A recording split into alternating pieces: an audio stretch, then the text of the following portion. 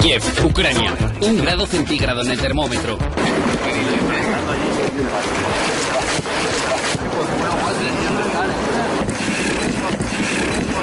Guantes, mallas térmicas, sudadera y si hubieran tenido una piel de oso pues también. Así que la solución para calentarse del frío que evita la dio Iker.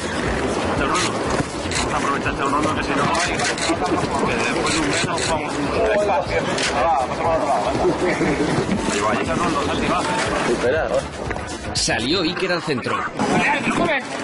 No se le dio mal. Pero Mark Bartra decidió probar a tirarle un caño a la leyenda.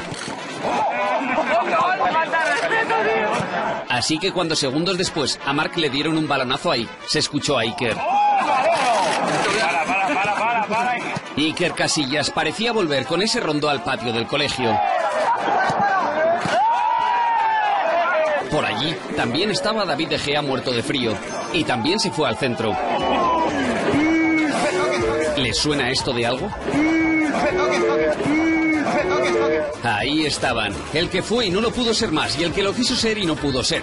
Y salió Vicente. Y Vicente vimos que está encantado con sus chicos. Hay ocasiones en las que simplemente no puedes dejar de sonreír.